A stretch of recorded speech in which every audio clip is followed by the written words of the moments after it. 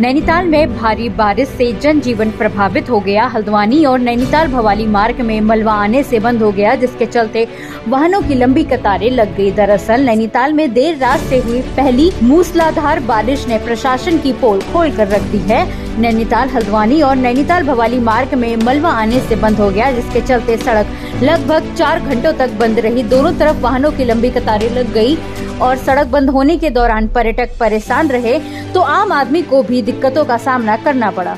मतलब कि हमें काफ़ी दिक्कतों का सामना पड़, करना पड़ रहा है जैसे पत्थर आ रखे हैं सड़क पे और काफ़ी परेशानी है बच्चों के साथ जाने में बस जा नहीं पा रही है। टैक्सी नहीं जा पा रही है दोनों तरफ़ रास्ते बंद कर रखे हैं। वहीं पर्यटक पैदल ही नैनीताल और हल्द्वानी की तरफ़ लौटे। हालाँकि सड़क बंद होने की सूचना मिलते ही प्रशासन ने मुस्तैदी दिखाते हुए सड़क को वाहनों की आवाजाही के लिए खोल दिया लेकिन जाम में फंसे लोग जिला प्रशासन की लचर व्यवस्थाओं पर सवाल उठा रहे हैं। जब से स्टार्ट हुई है तो से चार बजे से मैं यहाँ पे खड़ा हूँ। और उसके बाद आज ये चार पाँच घंटे में अब ये व्यवस्था बनी है यहाँ पे।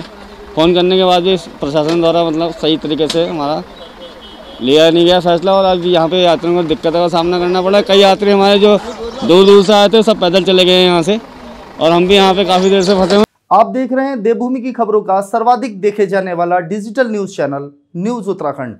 खबरों से अपडेट रहने के लिए हमारे सोशल मीडिया प्लेटफॉर्म को लाइक और शेयर करिए। हमसे जुड़ने के लिए आप हमारे स्क्रीन पर दिख रहे नंबर पर संपर्क कर सकते हैं या फिर मेल आईडी पर लिख सकते हैं।